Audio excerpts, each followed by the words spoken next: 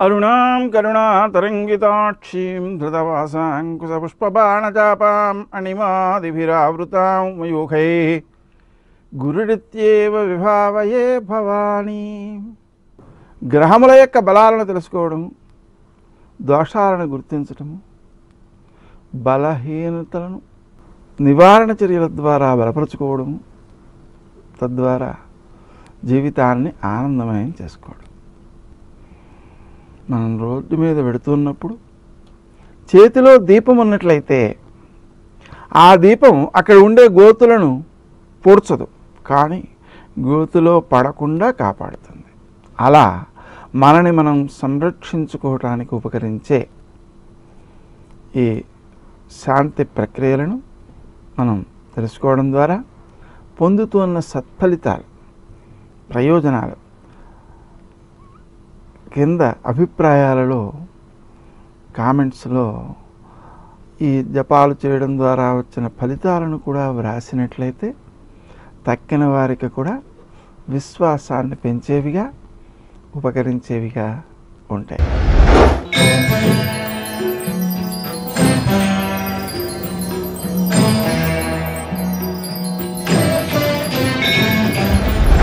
కర్కాటక రాశి. ఈ రాశి వారు తాము ఆచరించే కార్యక్రమాల్లో విజయాలు సాధిస్తారు. పట్టుదలతో సాధించేటువంటి విజయాలు ఆనందాన్ని ఇచ్చేవిగా ఉంటాయి. మాట్లాడే తీరు ఇతరులకు ఆహ్ ఆకర్షణీయంగా ఆహ్లాదకరంగా ఉండే అవకాశం ఉంది. తద్వారా సహాయ సహకారాలు అనుకూలంగా ఉంటాయి.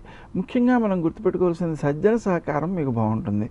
సజ్జన సహకారము అంటే ఎలా ఉంటుంది? అంటే మీకు ఏదైతే న్యాయబద్ధంగా సహాయం అందాలో ఆ సహాయాన్ని అందించడానికి వాళ్ళు ముందుకు వస్తారనమాట కానీ మనకేమనిపిస్తుంటుంది? అది మామూలుగా రావాల్సిందే వచ్చింది కదా అనిపిస్తుంటుంది. కానీ ఆ మార్గంలో వచ్చినది మీకు మేలు చేస్తుందనే విషయాన్ని గుర్తుపెట్టుకున్నట్లయితే శ్రమరహితంగా వచ్చేటువంటి ఆర్జనలకు మీరు ప్రాధాన్యం ఇవ్వకుండా ఉండగలుగుతారు. విశేషించి సహాయ సహకారాలు అందించడంలో సజ్జనులు ముందుంటారు. మీ ఆలోచనలలో ఆలస్యం చోటు చేసుకునే అవకాశం ఉంది. అందువలన శ్రీదత్త శరణ మమ అనే మంత్రం కానీ శ్రీ దక్షిణామూర్తయే నమ అనే మంత్రం కానీ నూటెనిమిది సార్లు జపించుకుని తర్వాత నిర్ణయాలు తీసుకున్నట్లయితే అవి సత్ఫలితాలను ఇచ్చేవిగా ఉంటాయి. విశేషించి వారం ప్రారంభంలో మీ యొక్క ప్రవృత్తి ఎలా ఉంటుంది అంటే స్వాతంత్ర్యాన్ని పొందకుండా ఎదుటి వ్యక్తులు ఏ పని అయితే చెప్పారో ఆ పని చేయడానికి పూనుకుంటుంటారు. తద్వారా స్వయంగా ఆలోచించనందువలన కూడా కొన్ని నష్టపోయే ప్రమాదం ఉంది. ఇక వారం ద్వితీయార్థంలో పరిస్థితి ఆలోచించినందువలన కూడా నష్టాన్ని తెచ్చిపెట్టేటువంటి అవకాశం ఉంది. అంతేకాకుండా వారం ద్వితీయార్థంలో అనుకోని ఖర్చులు కొంతవరకు ఇబ్బంది పెడతాయి. విశేషించి మనం ఏది ఆలోచిస్తే దానిలో కష్టాలే ఎదురయ్యేటువంటి అవకాశం కూడా ఉంది.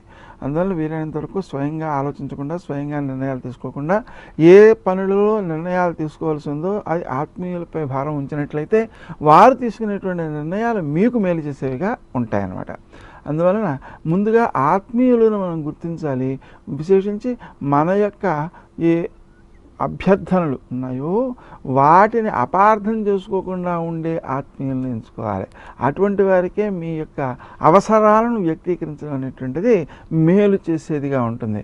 మాట్లాడే తీరులో కొంచెం తొందరపాటు వలన ఇబ్బందులు ఎదుర్కొనేటువంటి అవకాశం ఉన్న దృష్ట్యా తక్కువగా మాట్లాడడము ఎదుటి వ్యక్తి ఎక్కువగా మేలు చేయడానికి ఉన్న అవకాశాన్ని పరీక్షించడము అలాగా మనం కనుక ఆలోచన చేసినట్లయితే సరి అయిన సత్ఫలితాలను పొందేటువంటి అవకాశం ఉంది.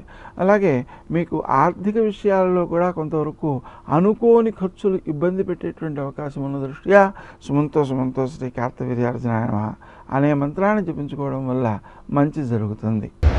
Thank you.